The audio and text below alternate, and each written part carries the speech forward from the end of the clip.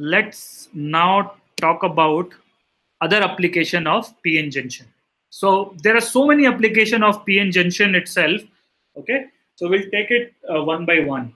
So right now we have taken one application of PN junction that is rectifier. The second application of PN junction is from the from a very special purpose PN junction diode that is Zener diode. Write down.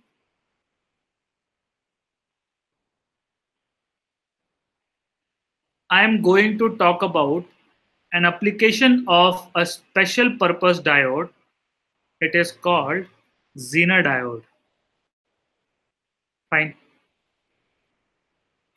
Now, Zener diode, uh, first of all, is represented by this symbol.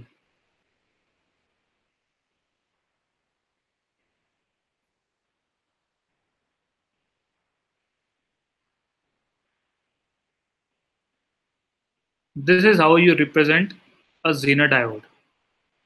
Okay.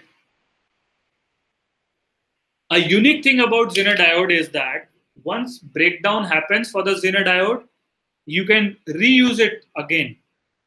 Usually what happens when a breakdown happens, the current becomes so high that uh, the diode burns off.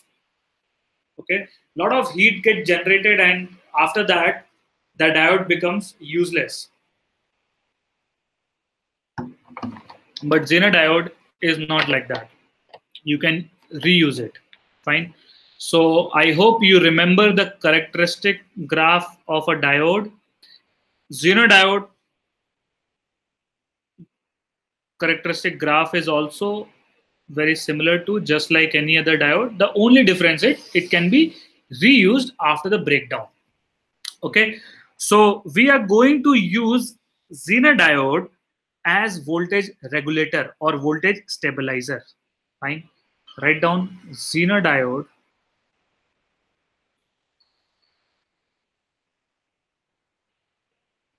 as voltage stabilizer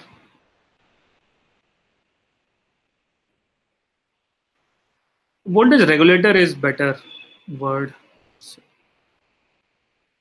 as voltage regulator So it regulates the voltage and it does not let the voltage increase beyond a point. Okay. So let me first draw the circuit diagram of the voltage regulator using Zener diode, then we can discuss it in greater detail. This is how it is.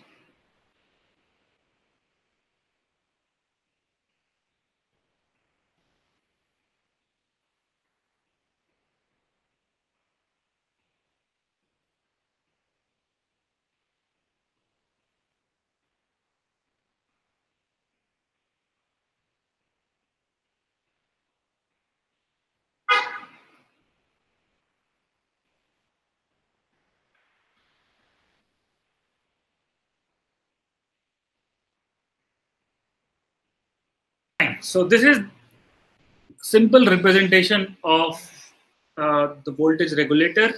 What happens is that we are connecting load.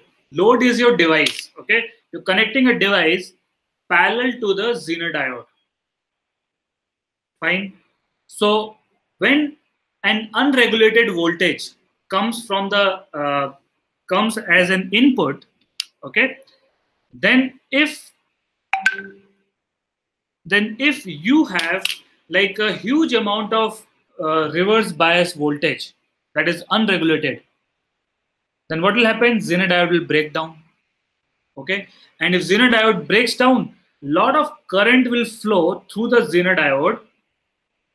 Okay, and one more unique thing happens that across a Zener diode, the voltage becomes constant. So beyond this voltage, across a Zener diode, the voltage won't go beyond this. Fine. So if you connect a load resistance parallel to the Zener diode, then after breakdown, it can uh, become a constant voltage across the load. Fine. So that is how it works. And there is a safety criteria also here safety criteria is like you know uh, just to ensure that both load and zener diode they are safe. The safety criteria is the current in the zener diode should be five times the current in the load. This actually ensures that zener diode doesn't have such huge amount of current that even zener diode burns off and also it ensures that whatever is excess current th that doesn't goes through the load but only zener diode captures it. Okay? So i'll again repeat here. We are right now exploiting the fact that after breakdown the potential difference across the zener diode becomes constant. We are exploiting that property. And how will you exploit that? You connect a load parallel to the zener diode. Okay, so whatever zener diode potential is, which becomes constant after a while, the load will feel that resistance. So the load will feel that voltage. Fine. So beyond a certain point, the voltage becomes constant no matter what is the input voltage. Fine. So this RS, which you connect here, this is called series resistance in a voltage regulator. This series resistance is required, otherwise the current can grow very, very quickly. Okay, current can be very large. So in order to, uh, to work safely, we have a series resistance that decreases the current little bit. And also do not forget this safety criteria. Okay, fine. So let us uh, solve a numerical based on the voltage regulator. By the way, do you have any doubts? Anyone? No, sir. No, sir. Okay.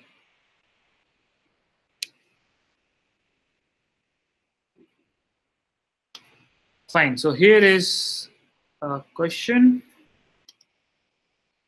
In a Zener regulated power supply, Zener diode has Vz to be equal to 6 volt. What does it mean? Vz is 6 volt. This is the breakdown potential. Fine. Vz is 6 volt.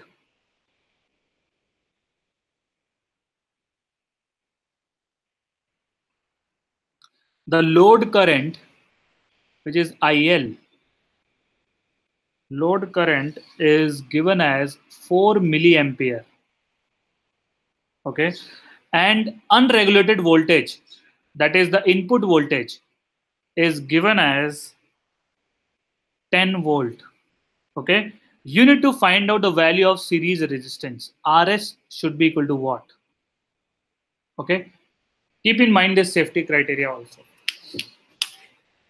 Do this both of you So is it 0 0.6?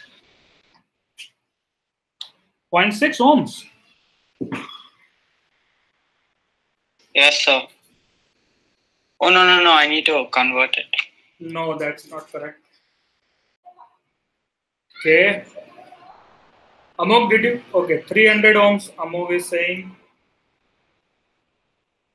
No, that's not correct. So that's 600. No, So is it 250? no, no. Let me solve this. See, um, unregulated voltage is 10 volt. Fine. Voltage across the diode will be 6 volt. Okay. Because the Zener diode, once the breakdown happens, which will happen in this scenario because external voltage is 10 volt and Zener diode operates in the reverse bias. So this will be equal to 6 volt. Okay. Now, the remaining voltage will feature here. This much will be how many volts?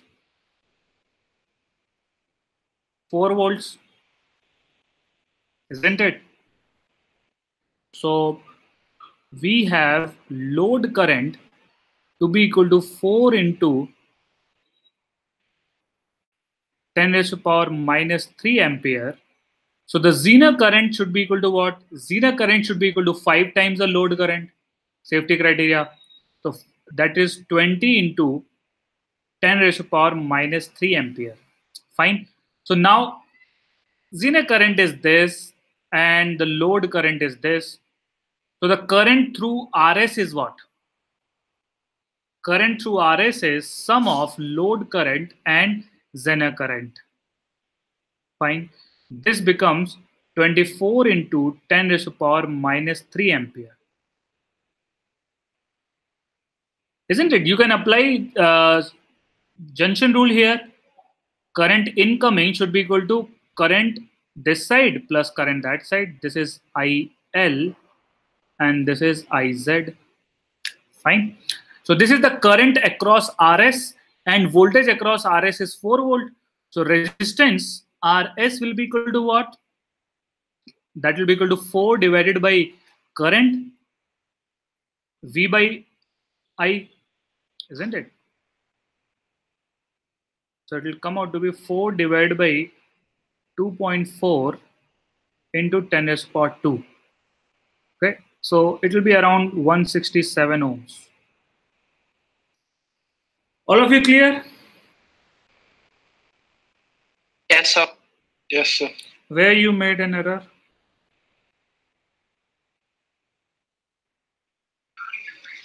So I didn't take the voltage like properly. So yeah, same. I took it as the entire uh, unregulated voltage, and then I tried using Kirchhoff's law, Right. loop rule. You can use Kirchhoff loop rule. That is correct. You can't use Ohm's law. And also, see, uh, the reason why you're you guys are not getting it right is because this is different. Okay, this your first of uh, first you are an, analyzing a circuit with a diode in it. Okay, so that automatically uh, gives you a lower confidence when you solve this particular question. Okay, but then once you look at the solution, you know it's straightforward in a way.